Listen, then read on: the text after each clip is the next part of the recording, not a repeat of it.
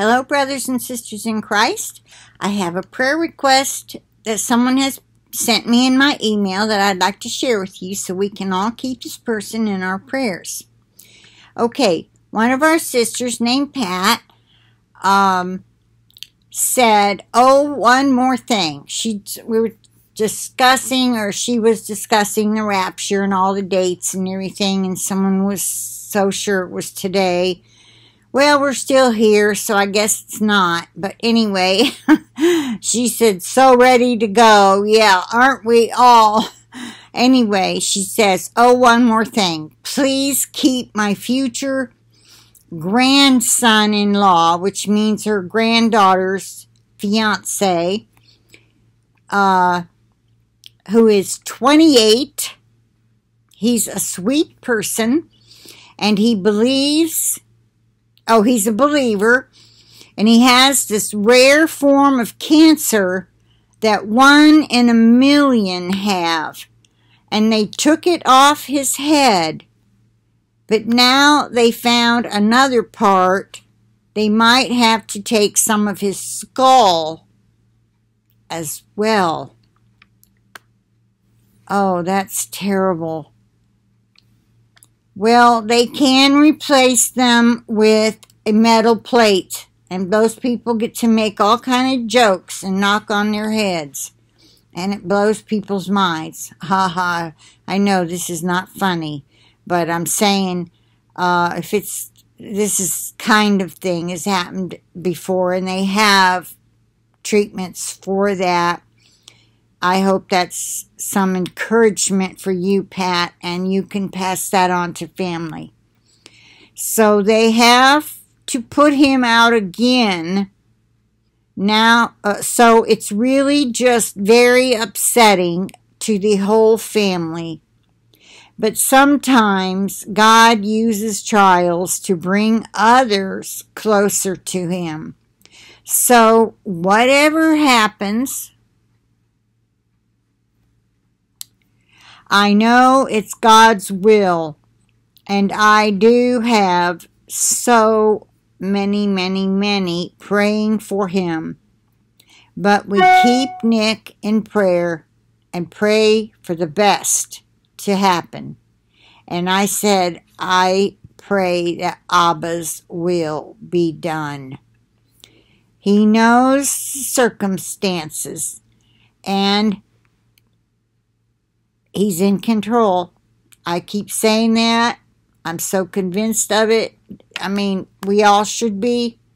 Satan thinks he's got all these plans. The Illuminati's got all their plans. They, and you know, they're, uh, they got good people, and I mean good in that they still love people as a whole, so they will whistle blow I guess is how you'd put it, to some people that they know on YouTube who tell us, and then we're all, we as a group of people who watch YouTube videos, if you're not solid in Christ, they start, it's fear mongering, and, well, I don't want to put it that way because then it makes it sound like the channel is fear mongering what I believe some at least is going on is disinformation. Some people are being used to pass on information to scare people. I could be wrong. We know things are going to happen, but you know this. I tell it to you all the time. Those of us who are ready and we pray that we may be counted worthy to escape all these things that are to come to pass and to stand before the Son of Man. Don't forget it. Keep on your spiritual armor. Keep pleading the blood of Jesus over yourself, your armor, your children, your spouse, your household inside and out, your property, your vehicle's inside and out. Believe me, I had mine messed with by that Satanist that I dated. He told me he was a minister, but he just didn't have his own church at that time. Yeah, well, what a liar.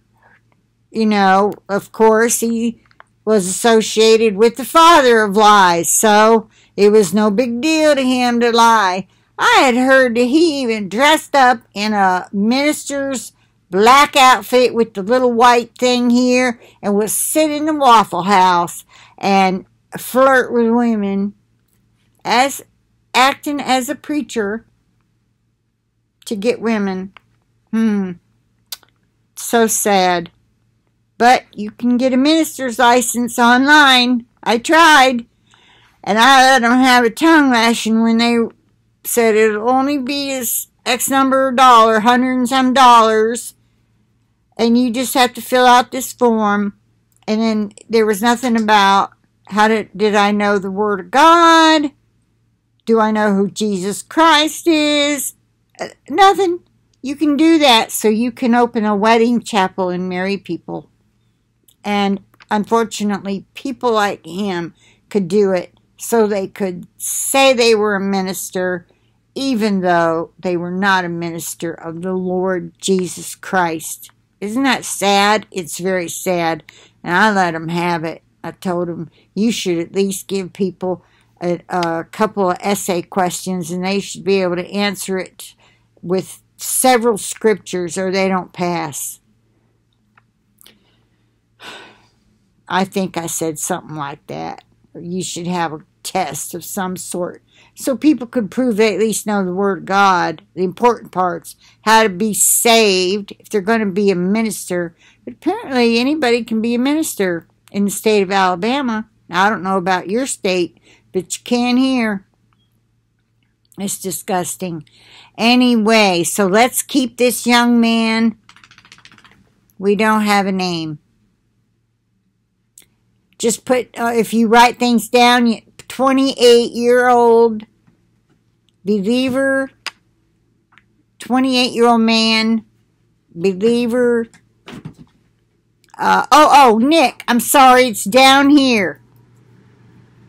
Nick, but we keep Nick in prayer and pray for the best to happen. Okay, sorry about that. I read it. I probably read it and forgot.